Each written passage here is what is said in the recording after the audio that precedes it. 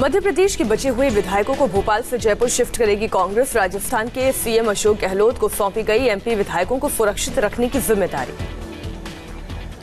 कांग्रेस विधायकों को जयपुर के ब्यूना विस्ता रिजॉर्ट में ठहराया जा सकता है। महाराष्ट्र के विधायकों को भी इसी रिजॉर्ट में ठहराया गया था। कमलनाथ ने आज सुबह अपने घर पर बुलाए कांग्रेस विधायकों की बैठक। बैठक के बाद जयपुर जा सकते हैं विधायक। विधायकों ने कहा कमलनाथ सरकार को कोई खतरा नहीं बेंगलुरु से विधायक हमारे संपर्क में है विधायकों को धोखे में रखा गया। कांग्रेस ने सज्जन सिंह वर्मा और डॉक्टर गोविंद सिंह को भेजा बैंगलोर इस्तीफा देने वाले 19 बागी विधायकों को बनाने की करेंगे कोशिश। कांग्रेस आलाकमान ने मुकुल वासनिक हरीश रावत और दीपक बावरिया को भेजा भोपाल। हालात का जायजा लेकर पार्टी को करेंगे रिपोर्ट। मध्य प्रदेश का घटनाक्रम भोपाल से बाहर शिफ्ट बीजेपी के सभी विधायक विशेष विमान से पहुँचे दिल्ली गुरुग्राम के पास मानेसर के रिसोर्ट में ठहराए गए। विधायकों के साथ केंद्रीय मंत्री प्रहलाद पटेल और बीजेपी राष्ट्रीय महासचिव कैलाश विजयवर्गीय भी पहुँचे दिल्ली। विजयवर्गीय ने कहा विधायक होली मनाने आए हैं। मानेसर के रिसोर्ट के बाहर कड़ी सुरक्षा एयरपोर्ट से सीधे रिसोर्ट लाए गए विधायक। मध्य प्रदेश में सत्ता समीकरण बदलने से जश्न के मूड में बीजेपी विधायक भोपाल से दिल्ली की फ़्लाइट पकड़ने से पहले बस में जमकर की मस्ती। आज दोपहर बारह बजे के बाद बीजेपी में शामिल हो सकते हैं ज्योतिरादित्य सिंधिया शिवराज सिंह चौहान की मौजूदगी मिलेंगे पार्टी की सदस्यता। ज्योतिरादित्य सिंधिया ने 18 साल के बाद छोड़ी कांग्रेस। मोदी सरकार में मिल सकती है जगह। बीजेपी की तरफ़ से राज्यसभा भेजे जाने की उम्मीद। कुर्सी पर मंडराते खतरे के बीच एमपी के सीएम कमलनाथ ने कहा चिंता की बात नहीं हम साबित करेंगे बहुमत। भोपाल में कांग्रेस विधायक दल की बैठक। बैठक में चार निर्दलीय मौजूद लेकिन नहीं पहुँचे बीएसपी के दो और समाजवादी पार्टी का एक विधायक। कांग्रेस विधायक दल की बैठक के बाद बोले पीसी शर्मा कहा कमलनाथ सरकार का को कोई खतरा नहीं।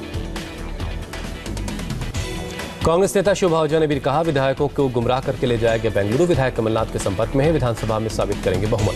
कैलाश विजयवर्गीय ने कहा कमलनाथ के अहंकारी रवैये से कांग्रेस विधायक नाराज़ सिंधिया ने तो शुरुआत की दूसरे राज्यों में भी होगा असर। शिवराज सिंह चौहान से मिले बीएसपी विधायक संजीव कुशवाहा और समाजवादी पार्टी के मिले राजेश शुक्ला शिष्टाचार की मुलाकात बताई।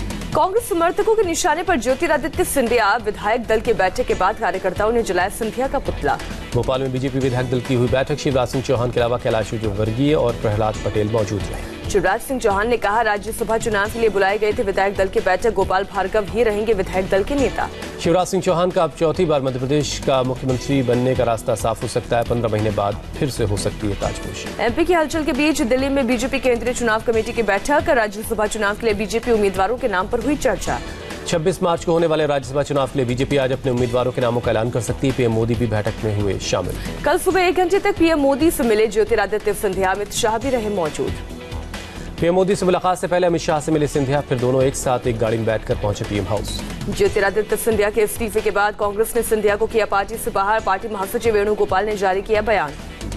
इस्तीफे के बाद बीजेपी अध्यक्ष जेपी नड्डा से मिले ज्योतिरादित्य सिंधिया खुद ड्राइव करके पहुँचे। कांग्रेस छोड़ने के बाद दिल्ली में अपने घर से दो बार बाहर निकले। ज्योतिरादित्य सिंधिया आठ बार कहा हैप्पी होली अधीर रंजन ने कहा सिंधिया परिवार का बीजेपी से पुराना रिश्ता कांग्रेस के में राजा की तरह थे बीजेपी में रहेंगे प्रजा की तरह। मध्य प्रदेश कांग्रेस के पूर्व अध्यक्ष अरुण यादव ने सिंधिया पर बोला हमला कहा सिंधिया परिवार का धोखे का पुराना इतिहास। सिंधिया के समर्थन में सामने आई बुआ यशोधरा राजे सिंधिया गद्दार जैसे शब्दों का इस्तेमाल कर रहे लोगों को इतिहास पढ़ने की सलाह दी। सिंधिया के आत्मसम्मान पर लगी थी चोट। ज्योतिरादित्य के इस्तीफे पर बेटे आर्यमन सिंधिया का बयान कहा मुझे अपने पिता के स्टैंड पर गर्व।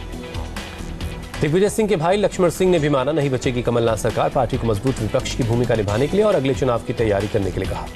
कुलदीप बिश्नोई ने सिंधिया के कांग्रेस छोड़ने को बताया झटका पार्टी में युवाओं को ताकत देने की मांग की। राजस्थान के डिप्टी सीएम सचिन पायलट का बयान जनता से किए वादे पूरे करने के लिए स्थिर सरकार की ज़रूरत है। राजस्थान की सीएम अशोक गहलोत ने कहा सिंधिया ने अपनी राजनीतिक महत्वाकांक्षा के लिए बीजेपी से मिलाया हाथ विचारधारा के साथ लोगों के भरोसे का धोखा। शशि थरूर ने कांग्रेस छोड़ने के अटकलों को खारिज किया कहा करियर बनाने के लिए बनाने के लिए नहीं उसूलों की खातिर राजनीति में आया। देश में कोरोना की चपेट में आने वाले लोगों की संख्या बढ़कर हुई इकसठ केरल में आठ और कर्नाटक महाराष्ट्र में तीन तीन नए मामले सामने आए। केरल सरकार ने महीने के आखिर तक सभी स्कूल कॉलेज और सिनेमा हॉल बंद करने का फैसला किया। राज्य में कोरोना के कुल मरीजों की तादाद चौदह हुई। चीन में कोरोना फैलने के बाद पहली बार वुहान के राष्ट्रपति जिनपिंग हालात का जायजा लिया। अमेरिका में कोरोना को लेकर बाइडेन ने क्लीवलैंड और ओहायो में रद्द की अपनी रैली। बर्नी सैंडर्स ने की भी एक रैली कैंसिल। की अमेरिका की कैलिफ़ोर्निया में क्रूज में फंसे करीब 2000 लोग करीब 1500 लोगों को जाँच के बाद छोड़ा गया। अमेरिकी शेयर बाज़ार में चार दशमलव नौ फ़ीसद की छलांग। कोरोना वायरस के डर से एक दिन पहले 1100 पॉइंट टूट गया था डाउ जोन्स। कोरोना को लेकर लंदन के स्टेशन पर खास सफ़ाई अभियान। मेयर सादिक खान ने भी स्टेशन पर सफ़ाई का जायजा लिया। ब्रिटेन में कोरोना से अब तक छह लोगों की गई है जान। अंतर्राष्ट्रीय बाज़ार में कच्चे तेल की कीमत में कमी का दिखा असर। दिल्ली में पेट्रोल दो रुपए उनहत्तर पैसे सस्ता हुआ। एक लीटर पेट्रोल की कीमत सत्तर रुपए उनतीस पैसे। दिल्ली में डीजल भी दो रुपए तैंतीस पैसे सस्ता। दिल्ली में एक लीटर डीजल की कीमत तिरसठ रुपए एक पैसा। दिल्ली दंगों पर आज लोकसभा में दोपहर बारह बजे से शुरू होगी चर्चा। गृह मंत्री अमित शाह पाँच बजे देंगे जवाब। बहस की मांग को लेकर पिछले हफ़्ते ठप रही थी संसद। लोकसभा में दिल्ली के हालात पर कांग्रेस के अधीर रंजन चौधरी करेंगे चर्चा की शुरुआत। बीजेपी सांसद मीनाक्षी लेखी मुद्दे पर बोलेंगी। पटना में तेज प्रताप ने लालू स्टाइल में मलाई मनाई होली। माँ से मिलने पहुँचे बेटे को देख रो पड़ी राबड़ी देवी। वृंदावन के बांके बिहारी मंदिर में श्रद्धालुओं ने जमकर खेली होली। भगवान कृष्ण की भक्ति में डूबा। कानपुर के डीएम ब्रह्मदेव राम तिवारी ने लोगों के साथ जमकर बनाई होली। नाचने के अलावा झाल मजीरा भी बजाया। उत्तराखंड के औली में आईटीबीपी जवानों ने होली पर जमकर की मुफ्ती माउंटेनियरिंग एंड स्कीइंग इंस्टीट्यूट में बर्फ़ के बीच मना जश्न। महाराष्ट्र के अमरावती में सांसद नवनीत राणा ने आदिवासी महोत्सव में हिस्सा लिया। लोगों के साथ पारंपरिक नृत्य भी किया।